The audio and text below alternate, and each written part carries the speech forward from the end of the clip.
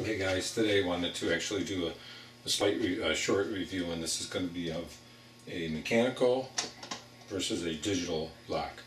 Um, there's a few different types of locks. Uh, there's the mechanical one, 99% uh, of uh, your safes, and then a lot of safes have the electronic lock. Electronic is more and more popular now. Electronic lock um, is very easy to open, very simple. It's just, you know, press a few buttons, you can open your lock here. You have your standard combination. You have to go left and right, left and right. These are just super fast. Uh, but they do require batteries. Most of your locks, you take it off, you'll have a battery in here. See, this particular one takes two 9 volts. And there is a few different makes of locks out there. There's uh, LA Guard, there's the um, Sargent Greenleaf, there's uh, AMSEC, there's a lot of different locks.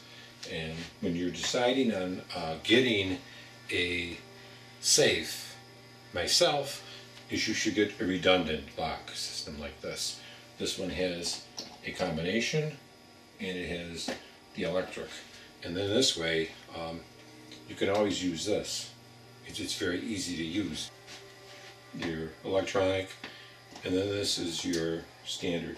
So the nice thing about the electronic, you just go and then you open it. Okay, then you can open up your safe. With the combination one, you have to go left, right, left, right, left, right, which is to an extent some pain in the ass. But uh, for my money, I would always get one of these.